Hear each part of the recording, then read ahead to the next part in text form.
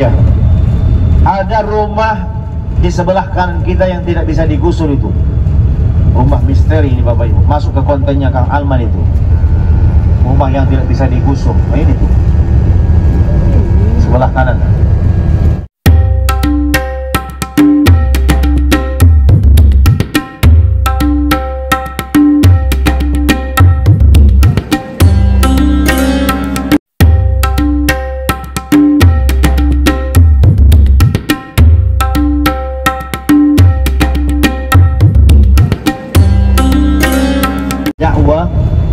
Negeri Taif yang sekarang akan kita tu- tuju hari ini. Ketika uh, sesudah 10 tahun beliau dilantik menjadi nabi. Jadi tiga tahun sebelum Nabi hijrah menuju ke Madinah, Nabi terlebih dahulu dakwahnya ke Taif. Cuman yang populer bagi kita itu Makkah Madinah, Madinah Makkah.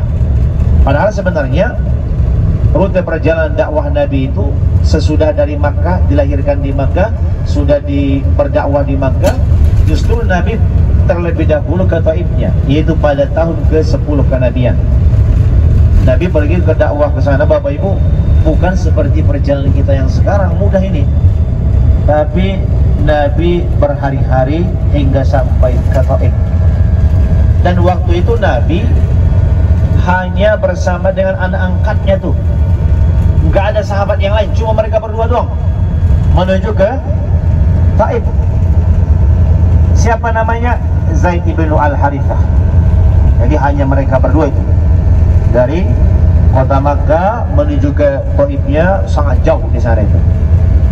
Nah waktu 10 tahun kenabian itu terjadi peristiwa yang sangat luar biasa.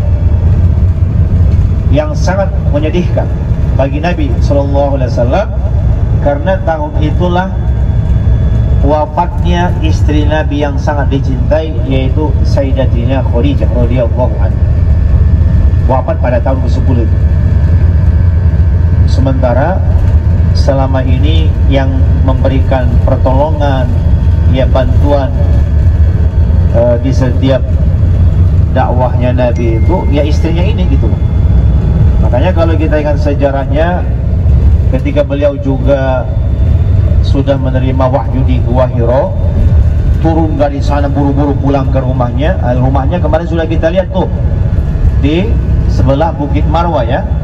Sudah kita lihat Alhamdulillah. Jadi rumahnya di sana tuh.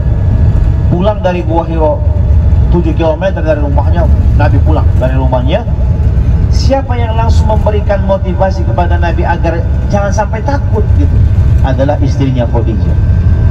Jangan takut, kamu ini orang yang baik, yang suka memberikan, yang dermawan, yang membantu orang, ya. Ketika mendengar seperti itu, hilang, hilang rasa takutnya Nabi Shallallahu Alaihi Wasallam. Iya, ada rumah di sebelah kanan kita yang tidak bisa digusur itu. Rumah misteri ini Bapak Ibu. Masuk ke kontennya Kang Alman itu. Rumah yang tidak bisa digusur. Nah ini tuh. Sebelah kanan. Rumah yang tidak tak berpenghuni. Tapi kalau Ustaz ini bisa ngelihat ada di sana makhluk sakral. Ya nggak Ustaz? Hah? Biasa beliau ini. Punya indera keenam itu bisa menerawang adakah makhluk sakral atau tidak di satu tempat? Silahkan nanti hubungi beliau. Kalau bapak ibu ingin diruqyah kan? Ingin dipijit nah nanti misalnya pulang umroh nanti yang bapak ini ya laki-laki mungkin ada yang memerlukan khidmat untuk pijit urut. Nah, beliau ini siap insya Allah. Karena beliau sudah pengalaman 12 tahun Serius. di Jeddah jadi tukang urut. Selain ahli ruqyah punya juga patilasan wow masya Allah ini.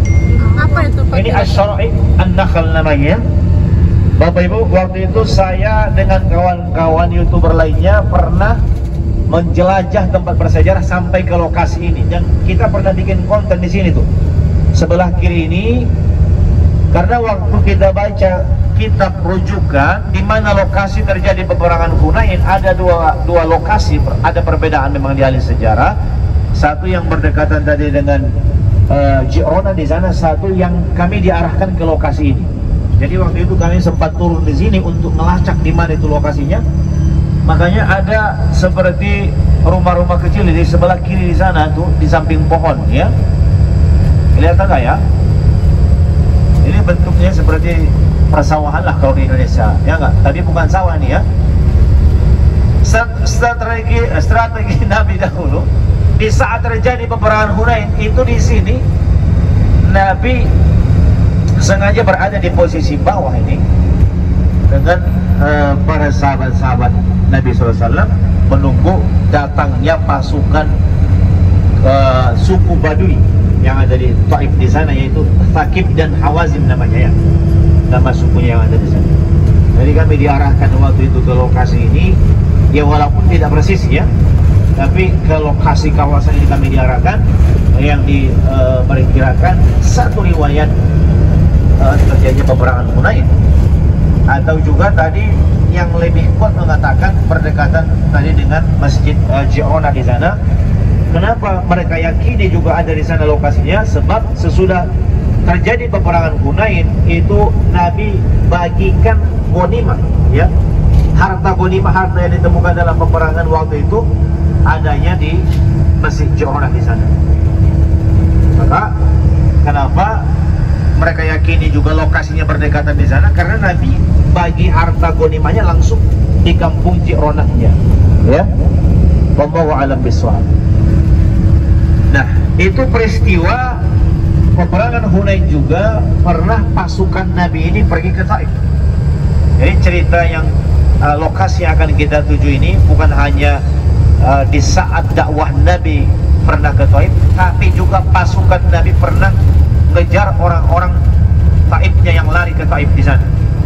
Jadi pasukan Nabi itu dulu pernah mengejar orang-orang Taif yang lari dari peperangan Hunain maka mereka melihat sangat luar biasa ya pasukan Islam walau memang waktu itu jumlah umat Islam sangat banyak mencapai uh, eh, 12 ribu pasukan sementara orang-orang kafirnya suku Badui Taifnya hanya 10 ribu ini yang pernah kita ceritakan bagaimana di peperangan-peperangan sebelumnya jumlah kaum muslimin sedikit waktu di Badarkah, waktu di Khandaqkah ataukah waktu di Uhud yang populer bagi kita itu yang terjadi di Madinah di sana, provinsi Madinah di sana. Tapi peperangan yang pernah terjadi di Makkah ini, provinsi Makkah ini, waktu itu memang pasukan Islam sudah sangat luar biasa. Kesenjataan sudah sangat banyak, mencapai uh, eh, 12.000 pasukan. Makanya waktu itu ada sempat ini rasa bangga di hati para sahabat ini kita pasti bisa ngalahin orang-orang kafir ini. Jumlah kita sudah banyak. Tapi Allah Subhanahu wa taala memberikan satu peringatan jangan sampai berbangga dengan jumlah yang banyak karena belum tentu yang banyak itu mampu mengalahkan yang sedikit. Ya Allah berikan teguran waktu itu kepada para sahabat Nabi Shallallahu Alaihi Wasallam. Nah itu peristiwanya di uh, peperangan Hunain yang juga pasukan Islam waktu itu pergi ke Taif di sana seperti yang akan kita tuju hari ini. Nah Rasulullah dulu pada tahun ke-10 juga bersiaplah uh, dari Makkah sesudah wafatnya istri Nabi sallallahu alaihi wasallam tahun duka cinta terjadilah kenapa juga Nabi merasakan kesedihan? Karena tahunnya itu juga wafatnya paman Nabi. Abu Talib paman Nabi juga wafat.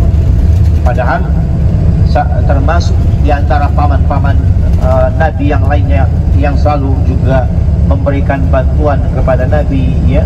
Memberikan dukungan kepada Nabi ya, semangat kepada Nabi. Membela Nabi SAW juga termasuk di pamannya Nabi.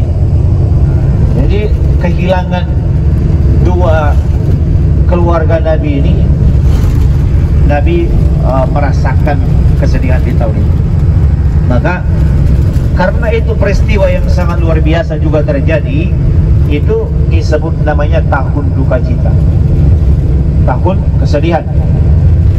Akhirnya Nabi SAW atas daripada izin Allah Subhanahu Wa Taala maka Nabi pun uh, diizinkanlah untuk keluar dari kota Makkah kemudian tujuannya menuju ke Taif. Nah, ini kita sudah lewatin lagi namanya taktish di sini ya. Pos ini, pos pemeriksaan